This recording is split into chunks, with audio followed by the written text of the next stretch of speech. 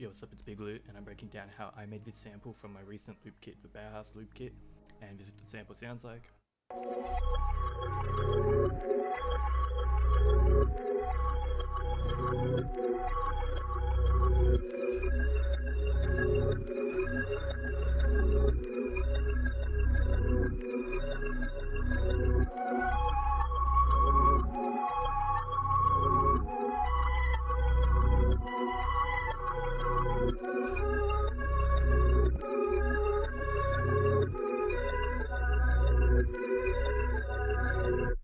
So that's pretty much the sample, and this is what the sample sounds like, just like the original sample.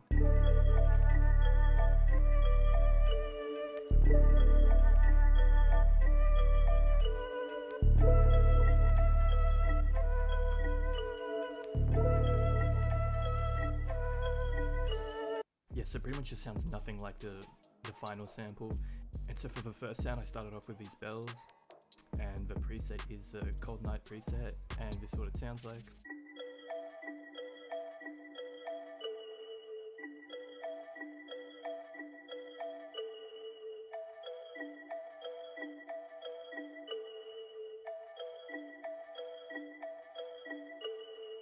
And the, the second part is just pitched up an octave.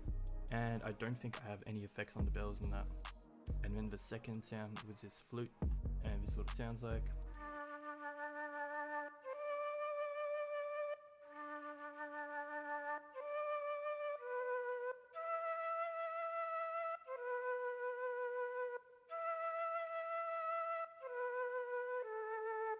And once again, the second part is just pitched up, and the preset is a better strawberry preset, and I have a reverb with the settings, and then a pancake to make it pan left and right, and then I have a bass, the jazz bass preset, and then it's just playing the root notes, and this is what it sounds like just by itself.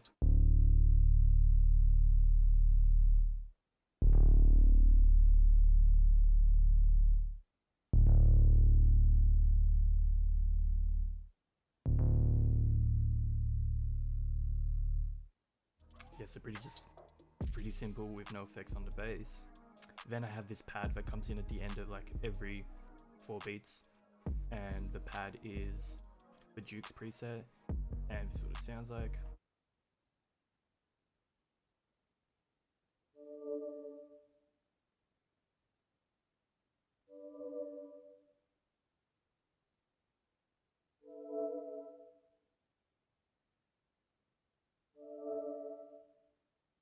I'm pretty sure it's just following the chords and just these are like pitched up an octave.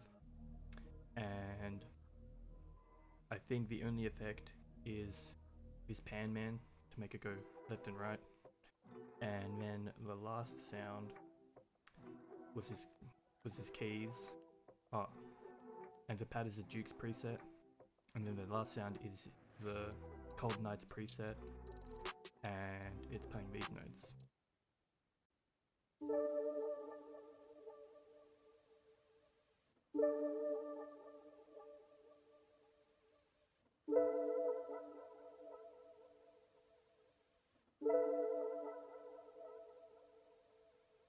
Just some simple chords, and for that, I use this effect rack, the Liquid Vibe preset, and then I added just a bunch of textures and like drums and stuff. I'll just play them all together.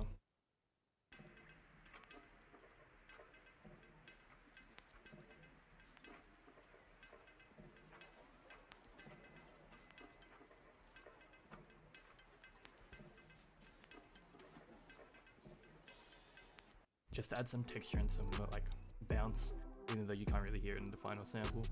And so yeah, I wasn't really feeling the sample towards the end. I was just gonna leave it as a starter, and then I thought, why not bounce it out and see if I could experiment with something. And then so I bounced it out into one waveform. Then I reversed it and pitched it down three semitones.